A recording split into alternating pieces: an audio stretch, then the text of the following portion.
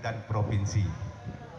Jaga selalu bertanggung jawab Kesiapan tersebut diperlihatkan Bawaslu Sumsel saat peluncuran kesiapan Panwascam dalam penanganan pelanggaran Pilkada serentak 2020 di Sumatera Selatan yang dipusatkan di Musirawas.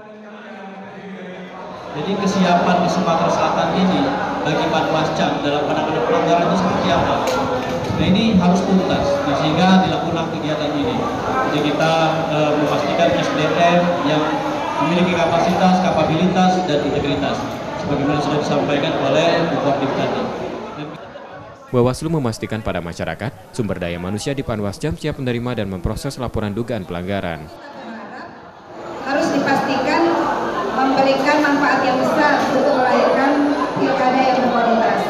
Bukan sebaliknya, jangan sampai kemudian mereka menjadi sumber konflik. Nah, sehingga pengetahuan yang memadai tentang e, pengawasan pemilu, kemudian memahami regulasi, ya itu sangat penting untuk bisa menghindari kesalahan-kesalahan di dalam melakukan kerja-kerja pengawasan dan penanganan pelanggaran.